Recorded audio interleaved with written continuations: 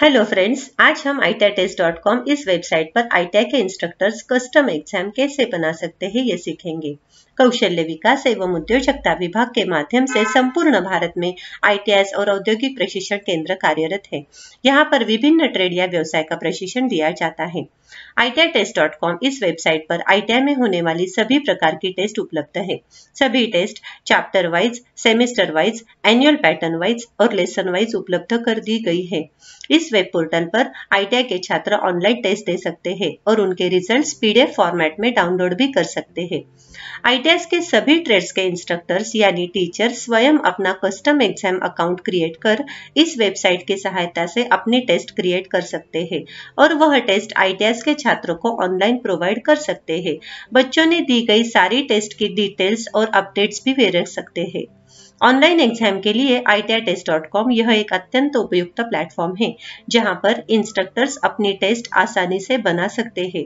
Custom exams बनाने की सारी प्रोसेस इस वीडियो द्वारा हम देखेंगे। ITITest.com इस साइट पर कस्टम एग्ज़ाम क्रिएट करने के लिए सबसे पहले इंटरनेट के कोई भी ब्राउज़र की सहायता से गूगल सर्च पर हम टेस्ट ऐसा टाइप करेंगे। इसके सर्च करते ही आने वाली पहली लिंक पर हम क्लिक करेंगे। लिंक क्लिक करते ही टेस्ट वेब पोर्टल की होम स्क्रीन हमें दिखाई देंगी। आईटीआई टेस्ट के इस होम पेज से हम कस्टम एग्ज़ाम्स इस टैब को क्लिक करेंगे। यहाँ से हम कस्टम एग्ज़ाम्स क्रिएट कर सकते हैं। कस्टम एग्ज़ाम को क्लिक करते ही आपको यहाँ पर एज ए टीचर लॉगिन करना पड़ेगा। अगर आपका ऑलरेडी अकाउंट क्रिएट होगा तो ईमेल आईडी और पासवर्ड डालकर आप लॉगिन कर सकते हैं। या फिर न्यू इंस्ट्रक्टर लॉगिन के लिए आपको साइन अप पर क्लिक करना है। साइन अप पे क्लिक करते ही साइन अप फॉर्म दिखेगा। यहाँ पर इंस्ट्रक्टर को उसका पूरा नाम, जहाँ पर वो काम करता है, उस इंस्टीट्यूट का नाम, उसका मोबाइल नंबर और सही पासवर्ड देना ज़रूरी है। उसके बाद साइन अप बटन पे क्लिक करना है। यहाँ पर लॉगिन फॉर्म भरने का एक एग्ज़ाम्पल बताया गया है। साइन अप करते ही आपका कस्टम एग्ज़ाम का अकाउंट क्रिएट हो जाएगा। उसके बाद ईमेल आईडी और पासवर्ड डालकर इंस्ट्रक्टर को लॉगिन करना होगा। लॉगिन करते ही कस्टम एग्ज़ाम्स का डैशबोर्ड दिखाई देगा। यहाँ पर राइट साइड में मेरा अकाउंट ओपन ओपन दिखाई दे रहा है। आईटीआई का कोई भी इंस्ट्रक्टर कस्टम एग्ज़ाम्स का अकाउंट क्रिएट कर सकता है। उसके बाद अपनी चॉइस के अनुसार क्वेश्चन सेट तैयार कर आईटीएस के छात्रों के लिए डिस्ट्रीब्यूट कर सकता है। आपको आई टेस्ट पोर्टल के कस्टम एग्ज़ाम्स के डैशबोर्ड पर क्रिएट टेस्ट पे क्लिक करना है। ऐसा करते ही नई टेस्ट के बारे में सभी जानकारी आपको फिल करनी होगी। जैसे कि टेस्ट का नाम, टेस्ट में होने वाले क्वेश्चंस की संख्या, टेस्ट के टोटल मार्क्स और पासिंग मार्क्स की संख्या भी देनी होगी। टेस्ट का स्टेटस आप एक्टिव या इनएक्टिव भी कर सकते हैं। मतलब जब वह टेस्ट एक्टिव होगी तो स्टूडेंट वो टेस्ट दे पाएँगे और जब वह टेस्ट इनएक्टिव होगी तो वह टेस्ट नहीं दे पाएँगे। यह सेटिंग यह सेटिंग सब इंस्ट्रक्टर अपने हिसाब से कर सकता है। टेस्ट के सारे क्वेश्चन रैंडमली यानी अपने आप चेंज करने होंगे। तो आप रैंडम क्वेश्चन टेस्ट के यहाँ पर यस कर सकते हैं। इस ऑप्शन से सभी बच्चों को दिखाई जाने वाले क्वेश्चन की पोजिशन हर बार चेंज होगी। इसी प्रकार टेस्ट के सारी डिटेल्स देने के बाद एड न्यू क्वेश्चन इस बटन पे क्लिक करना है। ऐसा करते ही आपको नई विंडो दिखाई देंगी। यहाँ पर आपको क्वेश्चन टाइप करना है और उस क्वेश्चन के आंसर के चार पर्याय आपको देने होंगे। जो करेक्ट आंसर है, वो भी आपको देना ज़रूरी है। सही जवाब दिए गए पर्याय में से ही होना चाहिए। क्वेश्चन को दिए गए पॉइंट्स या मार्क्स भी आप यहाँ पर देने होंगे। इसके बाद सेव बटन की सहायता से हम क्वेश्चन सेव कर सकते हैं। हमारे क्वेश्चन में अगर हमें मैथमेटिकल सिंबल्स ऐड करने होंगे तो वो भी हम कर सकते हैं।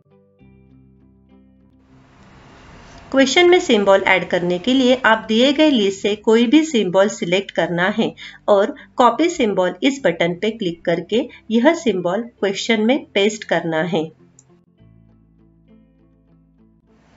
इसी प्रकार अगर हमें क्वेश्चन में कोई डायग्राम या इमेज ऐड करनी होगी तो आप चूज़ फ़ाइल इस टैब को क्लिक कर सकते हैं और अपने कंप्यूटर में सेव की हुई कोई भी इमेज सिलेक्ट करके ओपन बटन की सहायता से यह इमेज फ़ाइल अपने क्वेश्चन में ऐड कर सकते हैं।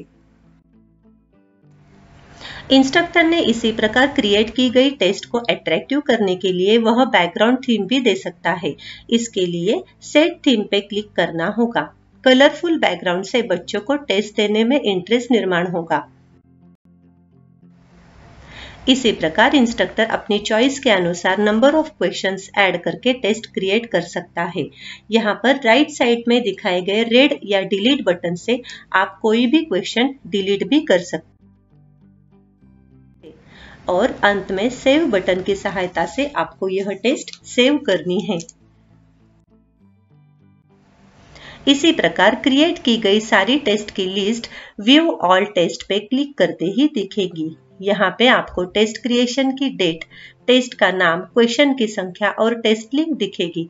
राइट साइड में दिए गए एडिट टैब की सहायता से हम कोई भी टेस्ट में कुछ भी चेंजेस कर सकते हैं, या फिर टेस्ट डिलीट करनी होगी तो वो भी कर सकते हैं।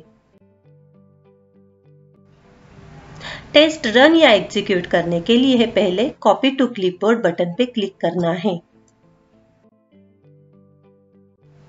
उसके बाद इंटरनेट ब्राउज़र के एड्रेस बार पे जाकर वह लिंक राइट क्लिक करके पेस्ट करते ही टेस्ट एग्जीक्यूट हो जाएगी।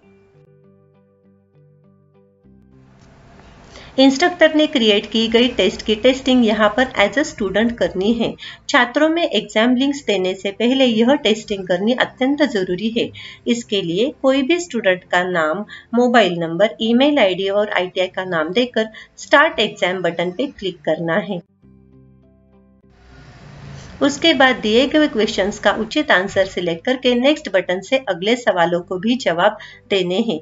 यहाँ पर दिए गए ट्रांसलेट बटन को करने से हम क्वेश्चन में क्वेश्चन को कोई भी भाषा में ट्रांसलेट कर सकते हैं। इससे छात्रों को क्वेश्चन का मतलब समझने में आसानी होगी।